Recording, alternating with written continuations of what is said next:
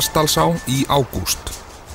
Þetta er einn gjöfalasta lagsveiði á landsins og fyrst er viknað til þess í Vastælasögu. Nýjir menn hafa nú numið land í Vastal. Það eru þeir Pétur Pétursson, betur þekktur sem Pétur í kjötbúrinu og félagi hans, heimsborgarinn og veiðilega sali upp á alþjóðlega vísu, Guy Goffrey, franskur ríkisborgari.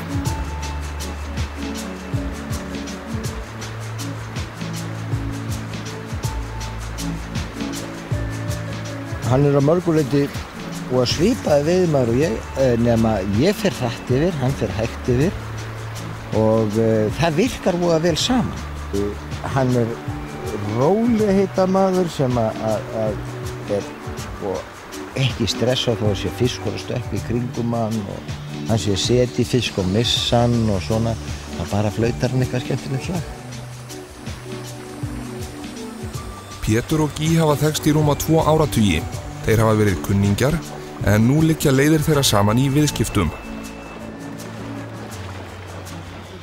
Mikil og ferleg skriðurlaup hafa fallið úr Vastalsfjalli og niður um utanverðan dalinn. Flóðið, eins konar stöðuvatn, varð til í einu slíku hlaupi árið 1720, þegar mikil skriða stíplaði ána.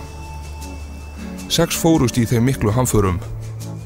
Skamt frá eru Vastalshóladnir sem einmitt eruðu til við gríðarleg skriðurlaup úr Vastalsfjalli, löngu fyrir Íslandsbyggð.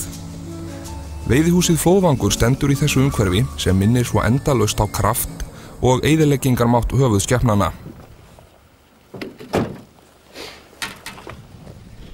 C'est la passion.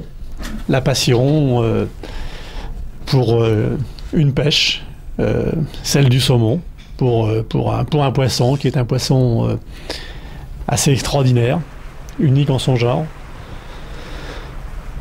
Euh, pour beaucoup, c'est donc la passion qui les, qui les fait bouger, se déplacer. Pour d'autres, c'est plus complexe. C'est bien sûr l'envie le, le, de prendre un poisson, un saumon, mais c'est aussi l'attrait du pays, les paysages. L'Islande est un magnifique pays. Euh, je connais des pêcheurs qui viennent en Islande, qui iront en Islande plus volontiers qu'ailleurs pour, pour, prendre un saumon, parce qu'ils trouvent l'Islande euh, magnifique. Með nýjum mannum koma nýjir siðir. Þegar þeir Gí og Pétur tóku ána á leigu var tekið upp nýtt fyrirkomulag. Öllum lagsi skildi gefið líf.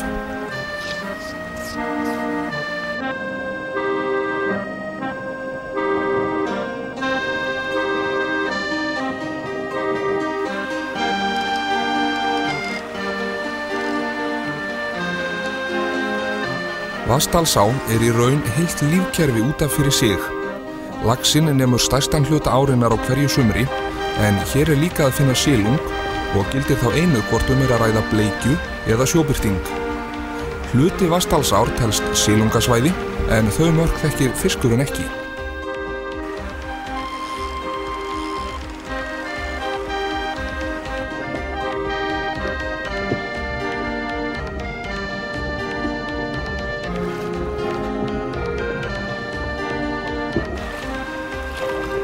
Bah, moi, c'est un pays, pays que j'apprécie beaucoup. Euh, j'y viens chaque année, non pas par, euh, par devoir pour travailler, j'y viens pour travailler bien sûr, mais j'y viens aussi par euh, plaisir parce que la nature est vierge, l'air est... Dans les publicités on dit que l'air est pur, c'est vrai. les gens sont sympathiques et il y a la pêche bien sûr. La pêche du saumon qui, qui me fait, qui me fait, qui m'attire ici. C'était un gros poisson et j'espère qu'il reviendra plus gros l'année prochaine.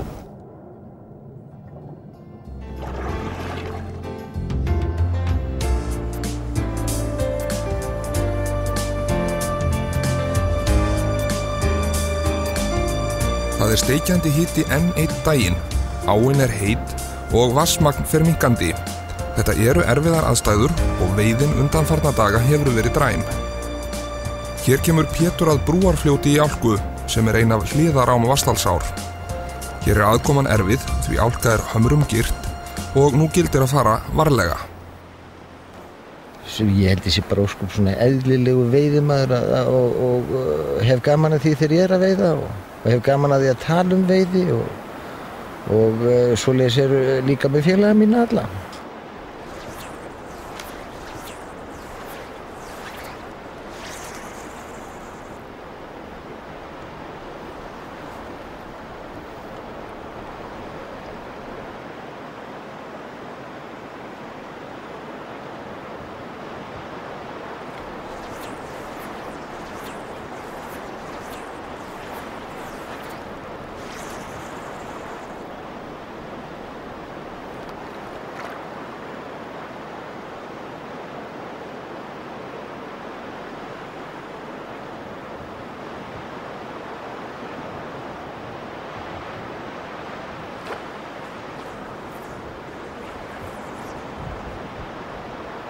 Pétur hugsar aðeins öðruvísu um veiðina núna.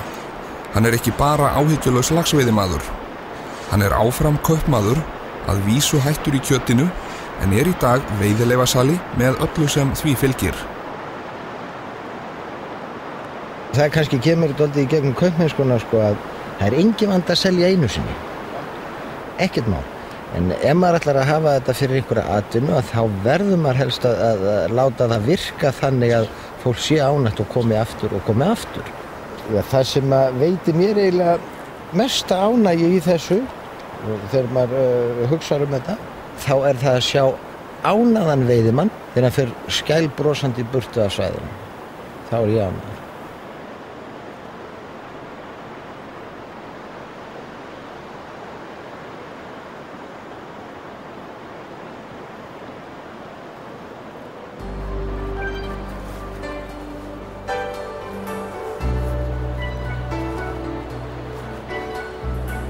Einn af þessum klassísku veiðistöðum í Vastalsá er búbót. Þar sem skilirði krefjast varfærni gerir Pétur eins og hann getur í því að fara valega. Hann kastar hitstúpu sem gefur sömu áhrif og gárumhútur. Þetta er hægur og oft mikil virkur veiðistaður. Lofthíti er nú ríflega 20 gráður og sólinn bakar þennan 25 km langa dal.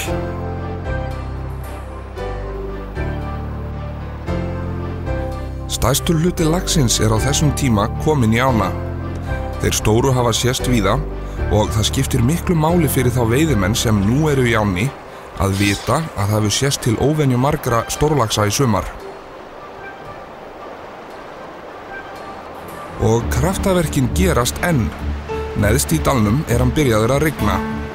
Þetta getur leift lífi í allt og alla. Regning er við þessar aðstæður, vítamínsbrauta fyrir ána.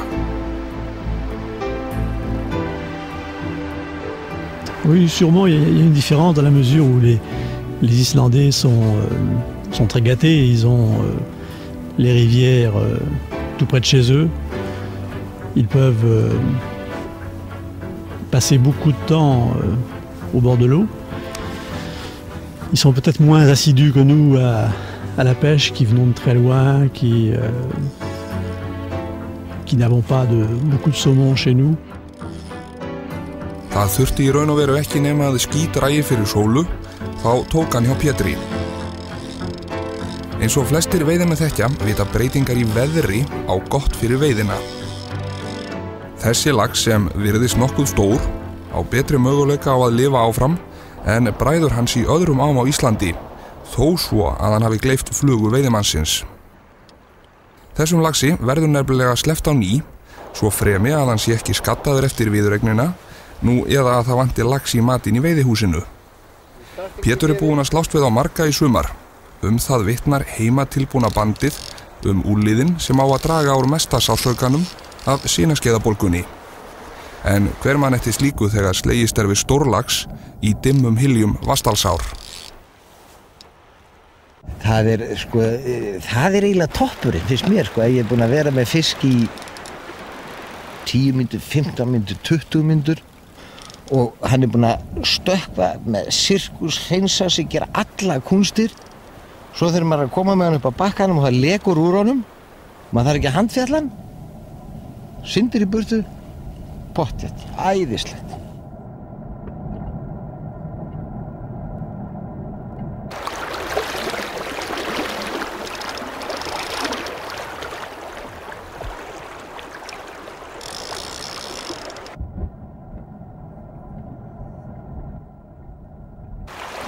Svona hegða stórlagsar sér og þegar þeir halda af stað niður ána getur veiðimaðurinn í raun og verum aðeins gert eitt og það er að fylgja á eftir.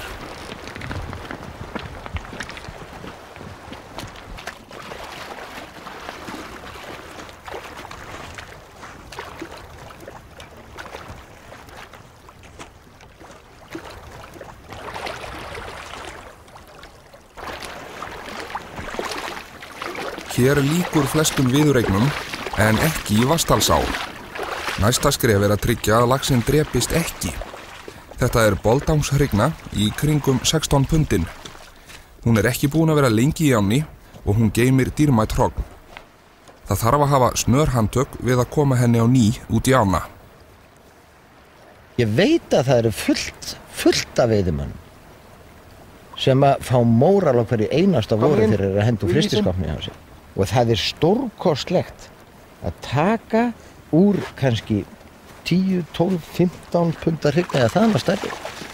Hennu öngulum og sleppinni. Horfa á hana sindi burtu. Þú færð alveg ofbóðslega sælu tilfinningu í þig en aftur á móti sko sælutilfingin sem að þú ert með þegar þú ert að veiða fisk hún gjörsanlega steindrest við fyrsta högg með rótara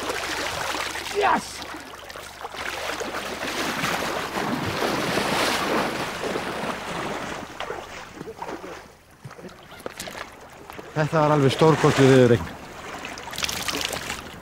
og svo það skemmtilega við þetta sko.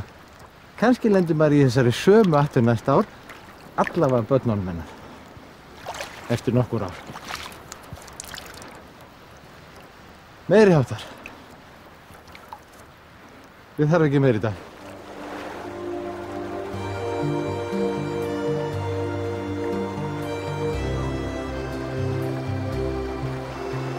Vastalsá er ótrúlega fjölbreytt veiði á.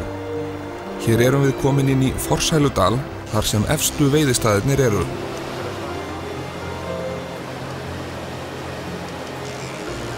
Hér við Stekkarfoss hefur Gí sett í hann á Rauða Fransis.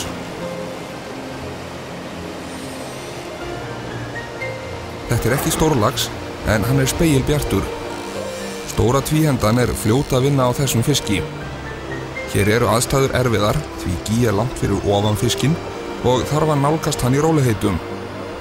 Laxastígi hefur verið byggður fram hjá fossinum en laxin vil halda niður ána. Hann hefur bara ekki kraftinn sem þarf til að ráða ferðinni. D'autres euh, rivières vont euh, pratiquer aussi le catch and release.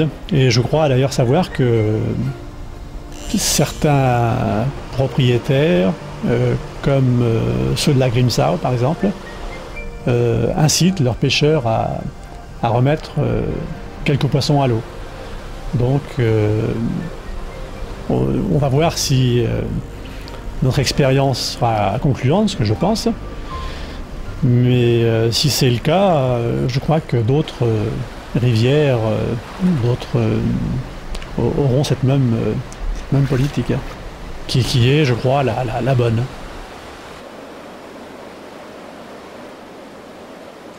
Þegar hér er komið sögu í Vastalsá þann 20. ágúst er búið að skrá 400 laxa í veiðibókina sem var sleppt á nýjan leik.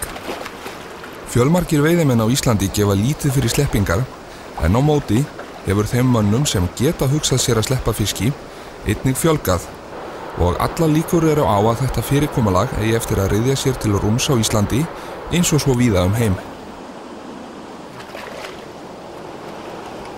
L'avenir du, saumon, euh, la pêche du saumon, euh,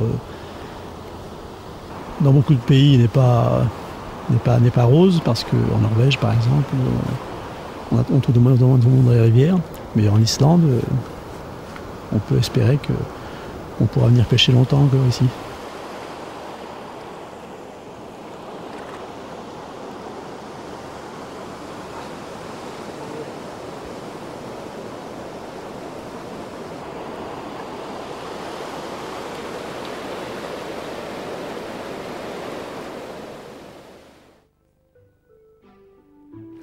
Kvöldið er einhver gjöfulasti tími dagsins.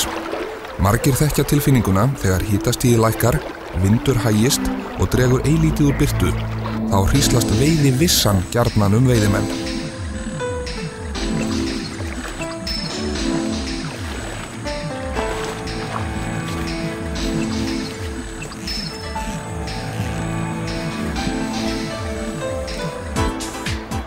Það leynir sér ekki að úrkoma ofarlega í dalnum hefur litað ána.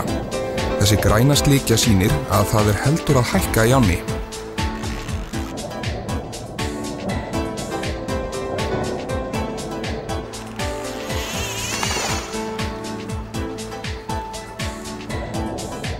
Það hefur margt breyst í Vastálnum frá því að veiðifélagið var stofnað árið 1936.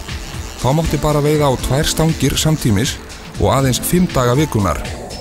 Nú, ríflega hálfri öll síðar, er veitt á sex stangir á laxasvæðinu, tíu á sílungasvæðinum og eina fyrir ofan stekkjarfoss eða alls 17 stangir.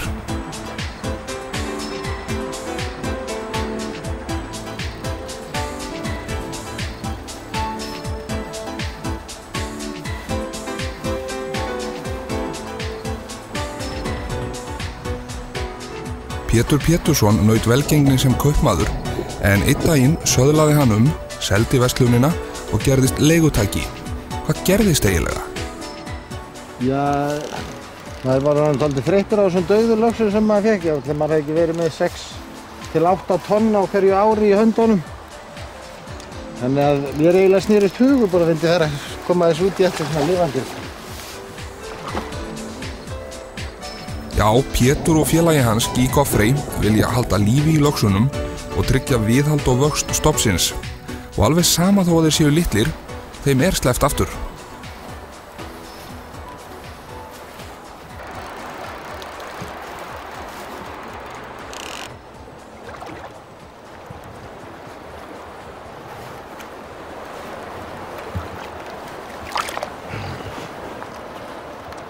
You fly.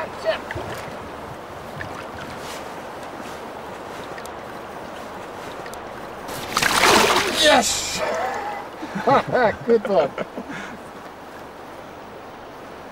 Bien joué. Thank you very much.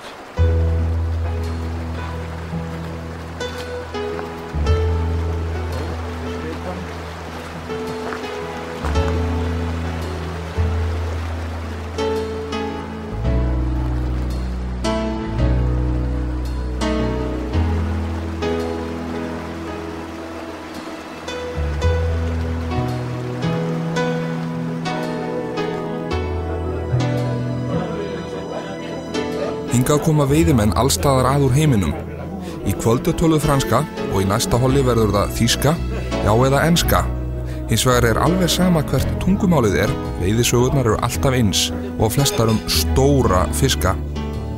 Maturinn er ekkert slór, nýjar íslenskar kartöflur og heiðana mestan hoskjæti, rjúpa.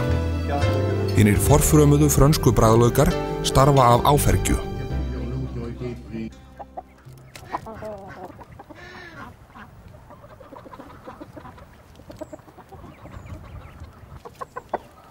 Nýr dagur byrjar eins og þeim síðasta lauk. Það þarf að næra menn og skeppnur í dalnum. Auðvitað eru áherslurnar ofurlítið misjafnar en allir fá þó sitt að lokum. Sigfús Sigfússon á Marðarnúbi er ekkert að spara fóðrið í fyrirfjenaðinn. Það liggur eitthvað í loftinu. Norðansveljan ber með sér fyrstu höst ánganina. Allir veiðimenn sem koma í Vastalsá býða þess óþreyju fullir að veiða hnausastreng. Sú stund er nú upprunnin hjá Gí og Pétri. Þetta er mjög stór veiðistaður og að samaskapi nafn tógaður. Höfðingjarnir í þessum hil eru bæði stærri og fleiri en í flestum öðrum á Íslandi. Þetta er einfallega einn mesti stórlagsa staður á landinu og yðurlega liggja þeir við landið fjær.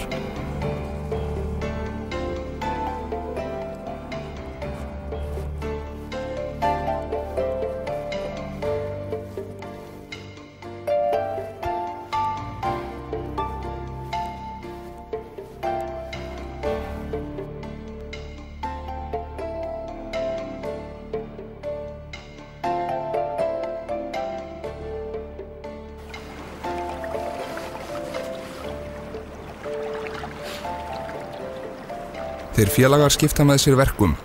Pétur fer niður fyrir með einhenduna en Gí tekur efri hlutan með stóru tvíhendunni. Köstin virka árenslu laus en flugan flýgur yfir ána.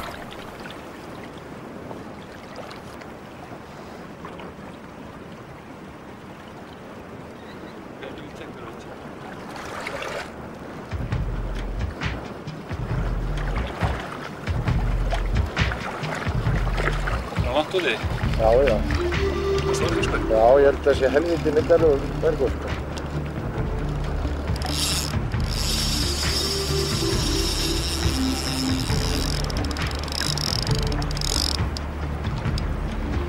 Ég getur nú eftir að það er dálítið vætt fiskur. Bæði hvernig hann haga sér. Og eins og þá bara ræður maður ekkert við hann ef hann ætlar að fara eitthvað sjálfur þá gerir hann það bara.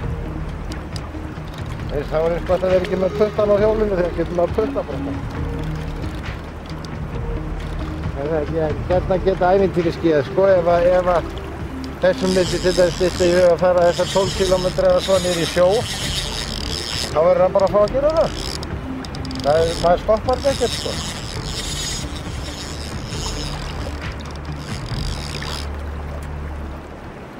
Ég myndi halda að væri minnst okkurstu 17 pund. Ég er ekki stærri, ég er ekki búinn að sjá hann en ég finn það hvernig hann hæga sér Hann kemur að mér, rólega, svo tekur hann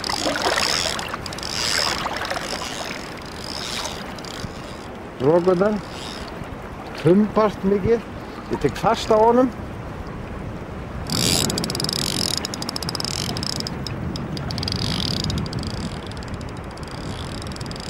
Mér myndi vilja sjá hann einu sinni.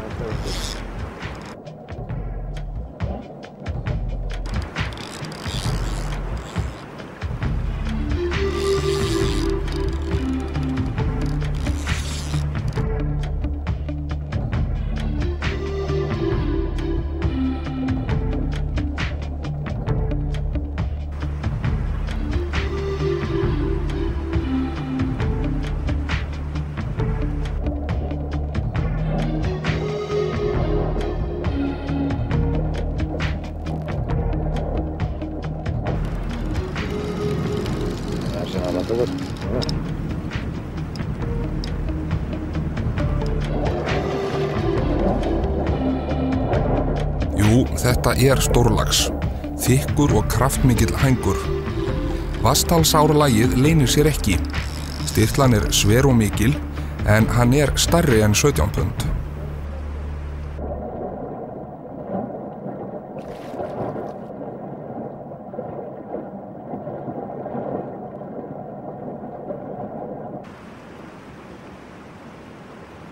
Nú hefur spennan aukist mikið.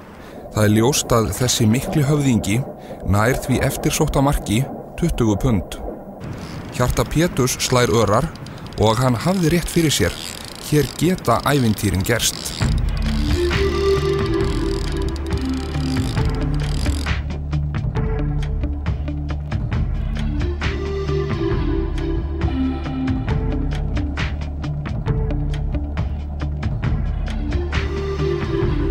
Baráttan við þennan höfðingja einn hausastreng hefur staðið í hartnær klukkustund. Hann er farin að gefa eftir, en það hefur Pétur tekið fast á honum.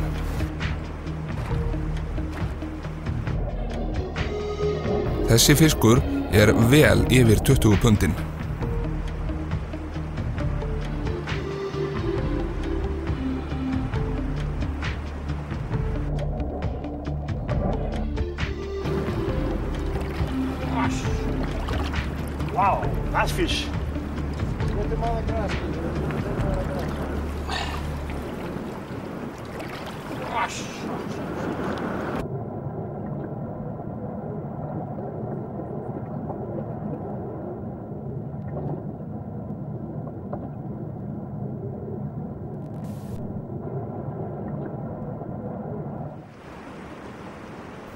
Erfitt að átta sig á nákvæmri stærð en viðstattir giskuð á 23 til 25 pund. Lengdin er vituð, hann var 107 cm sem samkvæmt fræðunum þýðir 25 punda fiskur. Sé það rétt eins og flest bendið til þá er þetta stæsti stangaveiti fiskur á Íslandi sumarið 1997. Uðvitað eru þeir til sem telja þennan fisk minni eða jafnvel stærri en það sem skiptir mestu máli er að hann fekk áfram að búa í náusastreng.